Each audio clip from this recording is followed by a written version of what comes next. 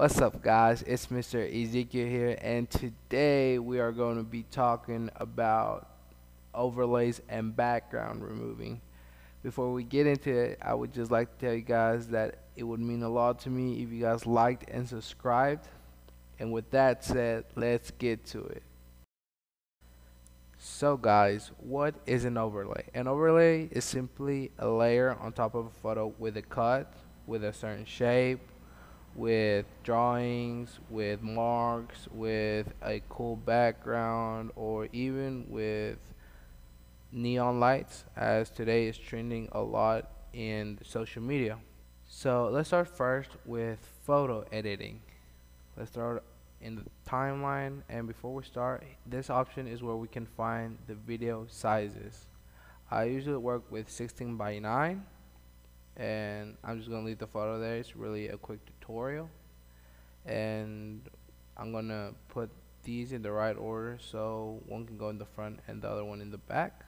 Okay so now that I have everything where I want it I'm to start by removing the background of this photo. As you guys can see it's has a white background and it looks so off.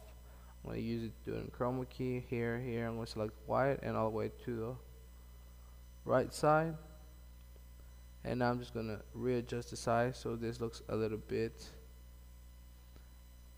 more realistic and we'll be done with that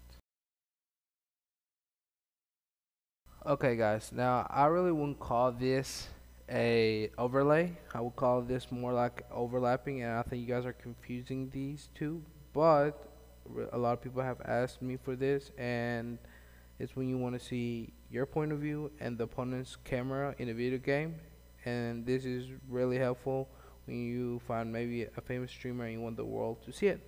So all you guys have to do is throw in these two videos, obviously the two clips, your point of view and your opponent's point of view, readjust the sizes. Um, it's important for you guys to use 16 by 9, so if it's throw one up and the other one down and use as much space as you can so the both videos are visible and this is something how it would look. ¿Le diste? Le di más con Ay. Go. Burro. Okay guys, and with that said, this would be all for the tutorial. Like and subscribe, and any doubts or comments, just leave it below. I'll get to you guys as soon as possible. Peace out.